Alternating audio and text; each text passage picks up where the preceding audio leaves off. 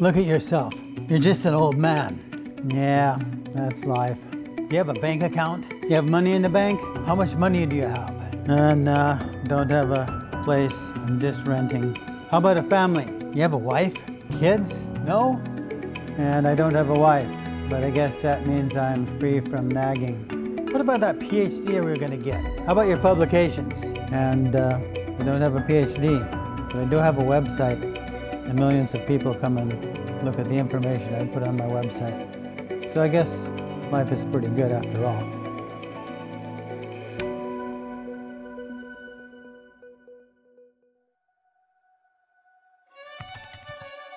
Hello everybody, I'm Uncle Hanzi, or in English, Richard Sears.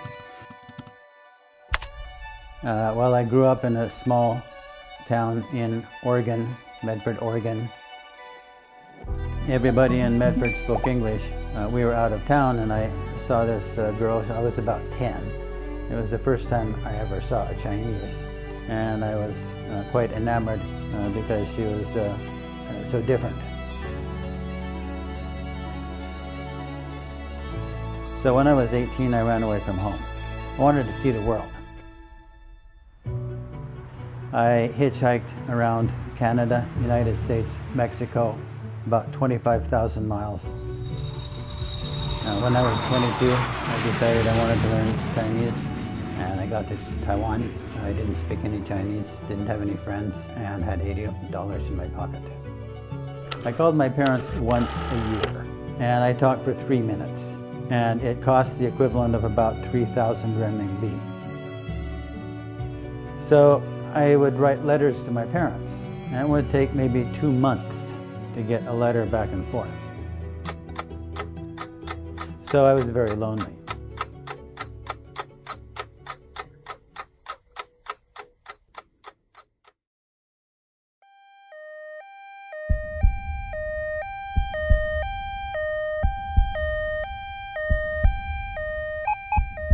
In 1994, I had a near fatal heart attack.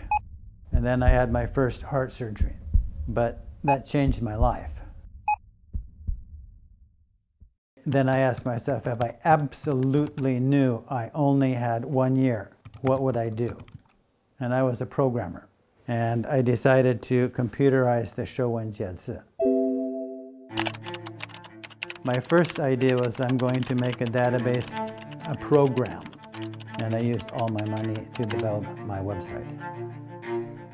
In 1990, computers were quite primitive. By 1994, computers were advancing very rapidly. 2,000 people were making websites. Finally, by 2002, I had a database of 100,000 characters. But in 2011, uh, Xinlang Boke found out about my website, then my life changed. Uh, I became Uncle Hans. 欢迎朗读者，来自美国的理查德·希尔斯。我的名字叫 Richard Sears. I started learning Chinese when I was 22. 我希望了了了解汉字的来源，每一个汉字的每一个构件都有一个象形文字的来源。For the past 30 years, my main interest has been trying to figure out the pictographic origins of Chinese characters. I'm constantly thinking what is the everyday Chinese like 5,000 years ago? Almost no modern person thinks about. But if you're going to understand modern Chinese characters, you need to understand the ancient Chinese mind.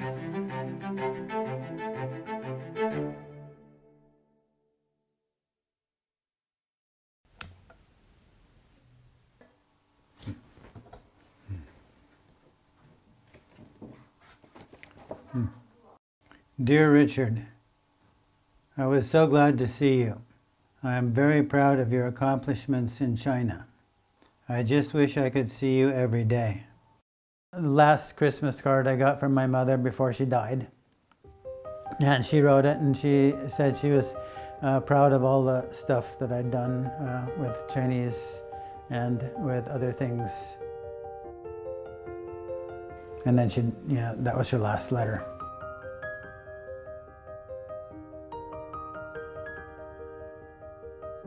Love you.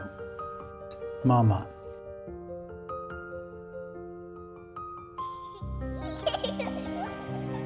My mother basically uh, supported uh, psychologically. My mother, when she was young, she had totally, she had black hair, you know, black and straight. My, my father died when I ran away from home at 18. So the question is, uh, now I'm 70. My parents are dead. I don't have a family. I'm not married, no children. What's important? There's a famous poem, Lou Shi Ming, and uh, it's about uh, a Chinese who is happy. He's not very rich, but he lives in a poor house, but it's good enough. He has food and he has friends and he has books.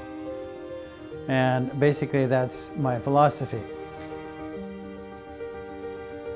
Uh, I have enough money for today and the next few months. You know, I live in a okay house, uh, but I have a lot of friends and I have enough books. And that's the only thing that's important. 我觉得他是一个追梦人，我觉得他是一个特别对自己的 呃兴趣爱好和理想有追求的人。他人很乐观，我觉得这也是一种非常值得我们年轻人学习的一种人生态度。很多人会会觉得他很可怜的时候，我就觉得他不可怜，就是他比很多人的生活都要丰富。即使没有答案的时候，他还是愿意去做。Never retire. Never stop. Keep doing new things.